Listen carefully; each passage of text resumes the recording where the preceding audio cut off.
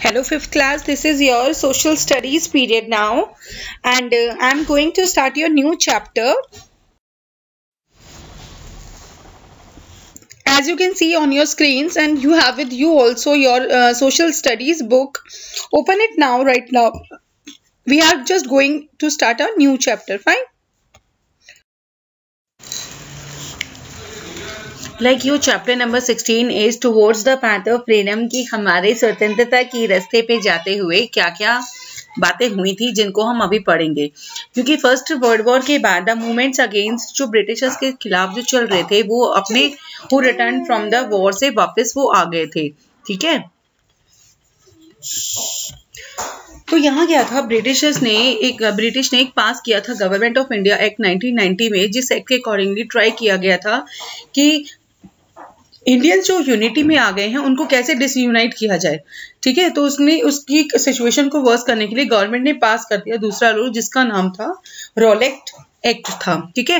जिसमें ब्रिटिशर्स ने एक ऐसा कानून बनाया था जिसका नाम था रोलेक्ट एक्ट जिसमें उन्होंने इस इस लॉ के अकॉर्डिंगली उन्होंने ब्रिटिश गवर्नमेंट को पावर दी थी टू इम्प्रेजेंट करने के लिए या किसी पर्सन को विदाउट ट्रायल के लिए।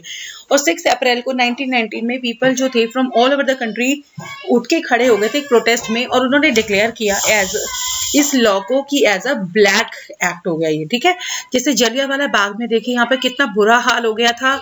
लोगों की बिल्कुल खून की नदियाँ दी थी पंजाब में, ठीक है? जहाँ पर क्या किया गवर्नमेंट ने डिक्लेयर किया था martial law due to the arrest of दो नेशनल हमारे लीडर्स थे, सत्यपाल और डॉक्टर सैफुलुद्दीन केचले तो थे अमृतसर में. Tenth of tenth of April 1919 में जो उन्होंने क्या हुआ था, जलियावाला बाग में वुमेन चिल्ड्रन किसी को भी वहाँ लोग जो घूम रहे थे, वहाँ करीब बीस हज़ार लोगों को मार दिया गया था उस अमृतसर में. ठीक है? और यहाँ पर जो पार्क सराउंडेड बाय लंबी लंबी दीवारें थी ना तीनों साइड्स में वेर और narrow inter entrance one side पे तो लोगों जनरल डायर ने वहाँ पर ब्रिटिश कमांडर था आर्मी का। उसने ऑर्डर दे दिया था ताकि वो गेट से लोग कोई भी बाहर ना जा सके और जितने वहाँ लोग हैं, सभी को मार दिया गया था। होल नेशन जो था वो बहुत ज़्यादा इतनी बुरी हालत को देख के, इतनी घटियापन जो ब्रिटिश ने किया था, उसको देख के सभी डर गए थे, घबरा गए थे कि इतनी खून की नदियाँ क्यों बहा दी उन्होंने गांधी जी जैसे ही इंडिया में 1915 में वापस आए तो जो साउथ अफ्रीका गए हुए थे ना, वो उस टाइम पे तो उन्होंने क्या किया कि इतना बुरा हाल जो उन्होंने किया है, हमें इसका क्या करना चाहिए? हमें इसको, इसके अगेंस्ट करना चाहिए। तो गांधी जी कैसे बॉर्न हुए थे 1960 1869 टू अक्टूबर में, पोरबंदर में, गुजरात में, हमें सब बारे में हम उनका गांधी जयंती का फेस्टिवल भी सेलिब्रेट करते हैं, अपने स्कूल्स में भी। हम्म? तो उन्होंने हमारे 18 1873 में बहुत सारे ऐसे लॉ बनाए थे, जैसे रेशल का डिस्क्रिमिनेशन वो चाहते थे कि लोगों को बिना किसी भेदभाव के, बिना किसी डिस्क्रिमिनेशन के लोगों में एक भावना उत्पन्न करनी होगी कि हाँ हमारा, हम सब एक हैं, कोई गोरा काला नहीं है।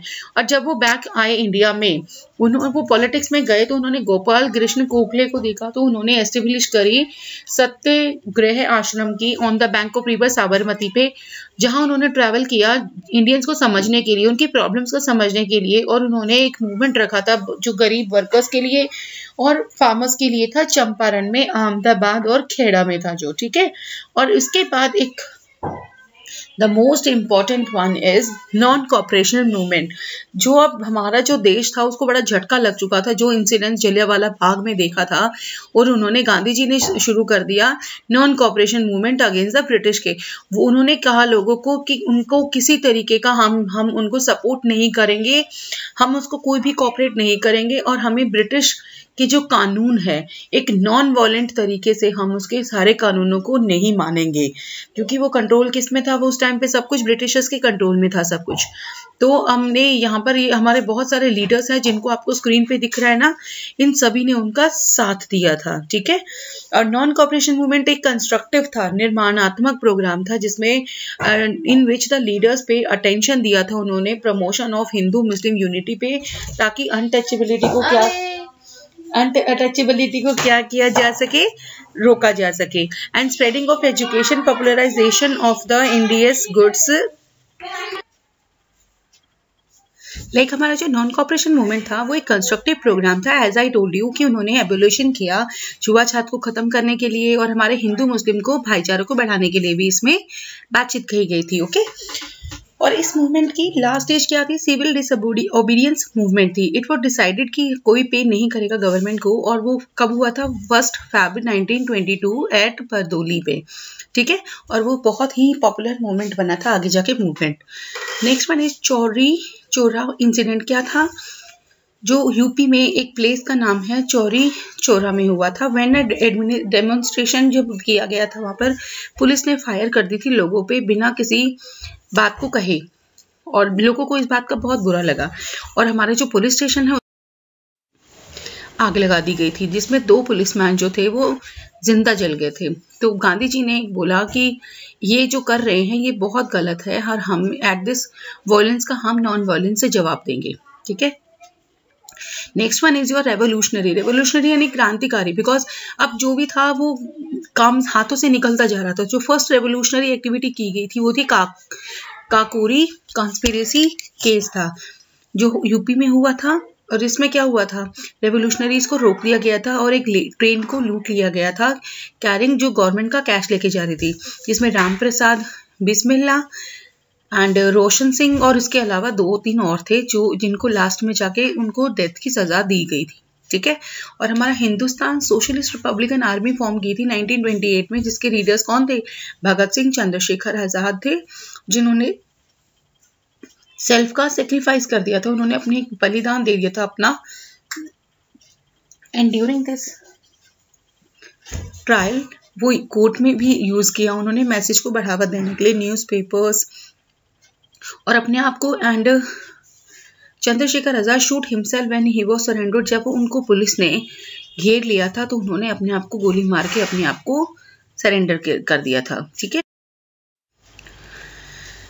एंड साइमन कमीशन क्या था? एक फ्रीडम मूवमेंट के लिए बहुत ही स्ट्रॉगर हो गया हो गया था। तो यहाँ पर इंडियंस ने क्या डिसाइड किया कि हम दूसरे की चीज़ों को बाइकआउट करेंगे, छोड़ देंगे। हम सिर्फ़ अपने ही देश की चीज़ों को यूज़ करेंगे। और इन्होंने क्या नारा लगाया था इस बात को कहने के लिए? साइमन गो बैक ठीक है? And next one is demand आपकी क्या है? कंप्लीट इंडिपेंडेंस की, कि हमें बिल्कुल पूरी पूरी आज़ादी चाहिए, ताकि हम अपनी तरफ़ से हम हमें पूरा अधिकार मिल सके अपनी चीज़ों को करने का। Next one is Dandi march हमारी गांधी जी ने स्टार्ट की थी, साबरमती आश्रम तक उन्होंने मार्च किया था और लोगों को यहाँ पर जागरूक किया था और कहा था कि हम नॉन वायलेंस के रास्ते पर चल के लोगों को सीख, सही सीख देंगे। नेक्स्ट सेकेंड वर्ल्ड वॉर हुई थी, जिसको फ्रीडम मूवमेंट भी कहा जाता है 1939 से 45 तक हुई थी। ठीक है? और क्विट इंडिया मूवमेंट हुई थी उसी के दौरान उसमें क्या हुआ था? 42 में हुई थी। कांग्रेस ने under the leadership of Mahatma Gandhi launch किया था क्विट इंडिया मूवमेंट कि हाँ हमारे यहाँ से चले जाओ ब्रिटिशर्स, तुम यहाँ से अंग्रेज़ों, भारत छोड़ो, का इन्होंने नारा दिया था। और ब्रिटिश क्विट इंडिया का भी नारा लगाया गया था, ठीक है? और इंडियन नेशनल आर्मी हमारे सुभाष चंद्र बोस जी ने एक बहुत ही इंपॉर्टेंट इंडियन इंडियन लीडर थे। उन्होंने हमारी एक फोर्स बनाई थी आर्मी बनाई थी, जिसको क्या करने के लिए ताकि हम चुपचाप क्या करेंगे? अपने आप को तैयारी तैयार करके और ब्रिटिशर्स के खिलाफ हम क्या करेंगे? चलो दिल्ली दिल्ली चलो का नारा लगाया था उन्होंने और जय हिंद का। और उन्होंने स्लोगन भी दिया था कि तुम मुझे खून दो, मैं तुम्हें आज़ादी दूँगा। ठीक है? और इंडियन गेम्स फ्रीडम 1947 को फिफ्टींथ अगस्त को हमारी कंट्री को क्या मिली थी? फ्रीडम मिली और इंडिया को दो कंट्रीज़ में डिवाइड कर दिया गया था इंडिया एंड पाकिस्तान और जो जॉय थी इंडिपेंडेंट वो इतनी है कि आज भी हम जो है इस त्यौहार को एज अ नेशनल फेस्टिवल है हमारा हम उसको मना रहे हैं ठीक है? और पंडित जवाहरलाल नेहरू थे उस टाइम पे हमारे फ़र्स्ट प्राइम मिनिस्टर बने थे एंड डॉक्टर राजेंद्र प्रसाद हमारे फ़र्स्ट प्रेसिडेंट बने थे ऑफ़ इंडिपेंडेंट इंडिया के ठीक है? एंड uh, आपके ये न्यू वर्ड्स आपको स्क्रीन पे दिख रहे हैं you have to write them in your notebooks में ठीक है? And learn also and from here you have to complete question A, B, C, D. Like your chapter number 16 is towards